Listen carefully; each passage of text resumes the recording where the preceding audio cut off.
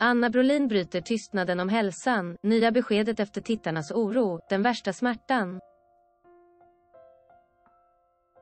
Det var i slutet av mars tidigare i år som många oroliga tittare höjde på ögonbrynen. När folkkära programledaren Anna Brolin fångades på bild med kryckor, lämnades frågorna om vad som hade hänt obesvarade. Nu veckor senare ger TV-stjärnan besked om verkliga anledningen bakom skadan, för sajten Hänt. Vi har sett henne briljera framför TV-kamerorna med sin värme och otroliga utstrålning. Anna Brolin har setts leda några av landets mest populära program, Farmen, Biggest Loser och Efter fem.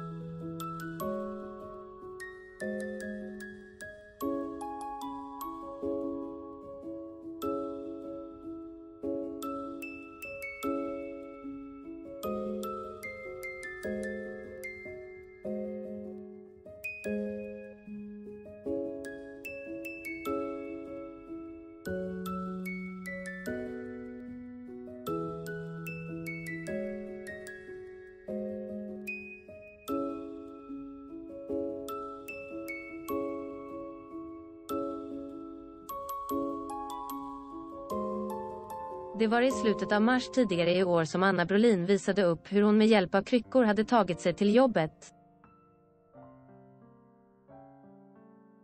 På väg till sopsorteringen med nycklarna i munnen på orsaker versus två timmar senare på väg ut på studiogolvet, skrev hon då på sin Instagram.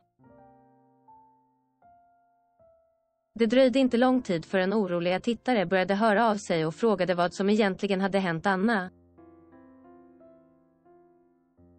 Vad har du gjort med dig fina Anna? frågade sig en person.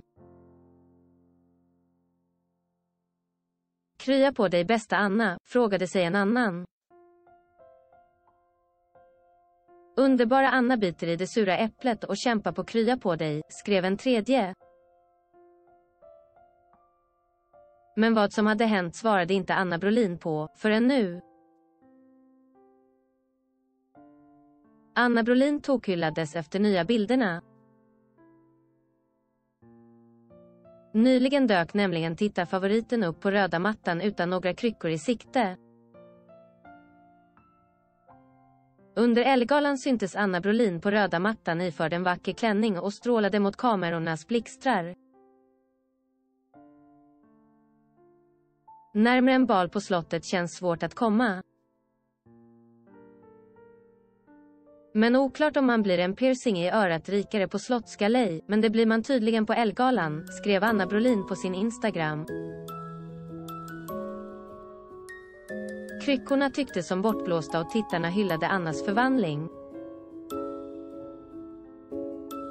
Du blir bara snyggare och snyggare, Anna, skrev en person. Min favoritprogramledare som alltid är så vacker inifrån och ut, skrev en annan. Shit vad du klär i allt, skrev en tredje.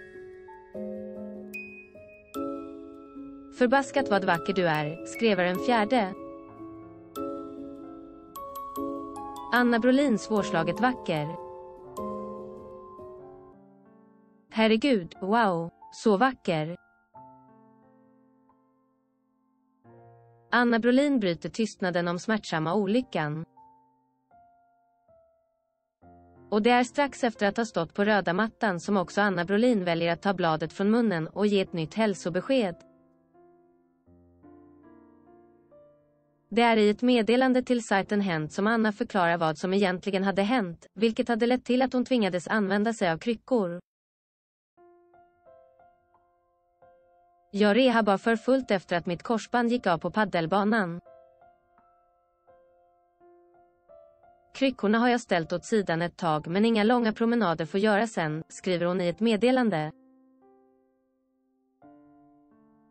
Och rehabilitering är någonting som Anna kommer få jobba på under lång tid framöver. Den värsta smärtan har lagt sig men jag inser att det är lång rehab som väntar. Så det senaste inredningsinköpet är en begagnad träningscykel som står inklämd i hallen, ungefär så är status.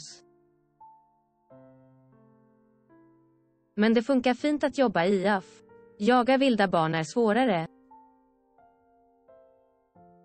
Krya på dig Anna, hoppas att du snart känner dig helt återställd.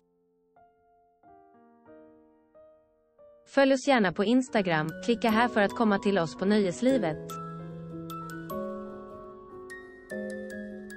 Tage Danielsson, en av Sveriges främsta underhållare genom tiderna.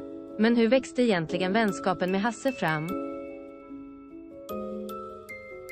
Vad var det för mörker som präglade hans barndom?